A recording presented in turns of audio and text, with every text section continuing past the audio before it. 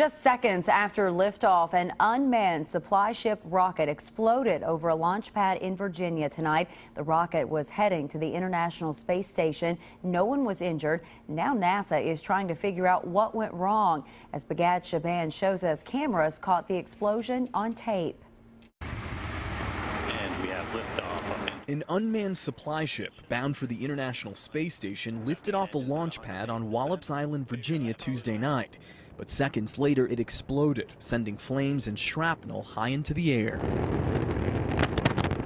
There was a big boom on the island. You could hear windows shatter, and everyone was screaming. Something went wrong, and we will find out what that is. We will determine the root cause, and we will uh, correct that. The 14 story Antares rocket was built by Orbital Sciences Corporation, one of two private companies with a NASA contract to supply the space station since the retirement of the space shuttles. CBS News space consultant Bill Harwood says something might have gone wrong with the Russian made first stage engines. There appeared to be a detonation of some sort at the base of the rocket. You could see this, this explosion stop the forward motion of the rocket, then it simply fell back down to the pad and exploded in a huge fireball. The ship was carrying more than 5,000 pounds of supplies.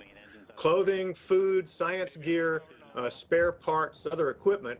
Uh, nothing that's critical to the health and safety of the crew, nothing critical to the operation of the space station, uh, but certainly it'll be missed. A survey of the scene won't begin until daylight. Crews are letting fires burn out and the site cool down before they start looking for clues. Bigad Shaban, CBS News. A similar rocket failed during a test last May. A Russian rocket carrying supplies is scheduled to lift off for the space station tomorrow.